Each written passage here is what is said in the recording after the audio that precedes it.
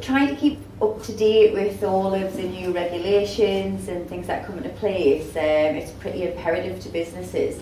Do you have any advice that you'd like to give our members?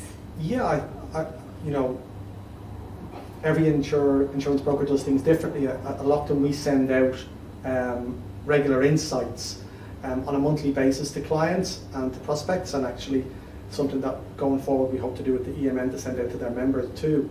Um, so that will give advisory content um, to finance directors or CEOs with regards to what is you know what is changing, I suppose, within the insurance market. Um, the two things that stick out at this moment in time in, in 2021 um, and the two different policies that stick out that are having issues are professional indemnity and directors and officers.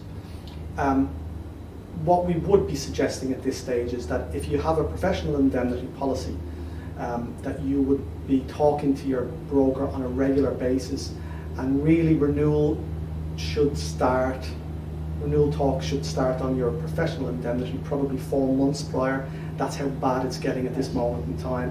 Um, there's capacity problems in the market and premiums are going sky high. So um, we as I said by sending our insight documents out to our clients they become fully well aware of what's actually happening and what's what's happening down the line.